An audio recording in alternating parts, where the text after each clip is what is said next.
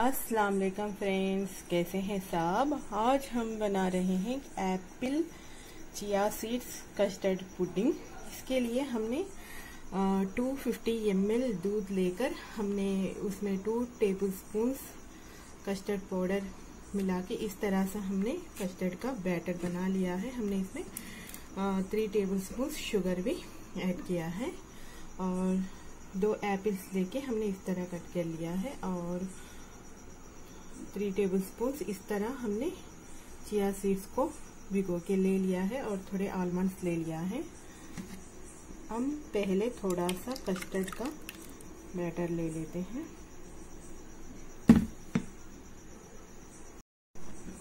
और अब हम इसमें एप्पल्स को मिक्स कर लेते हैं।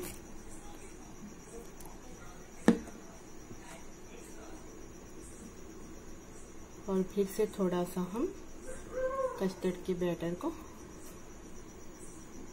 डाल देते हैं।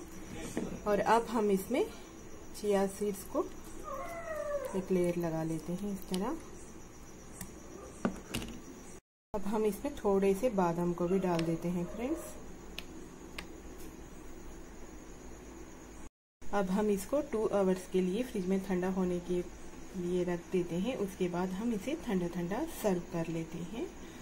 अगर आप मेरे वीडियोस को नए देख रहे हैं तो मेरे चैनल को सब्सक्राइब कीजिए, मेरे वीडियोस को लाइक कीजिए, शेयर कीजिए। फिर मिलती हूँ और एक नई रेसिपी के साथ।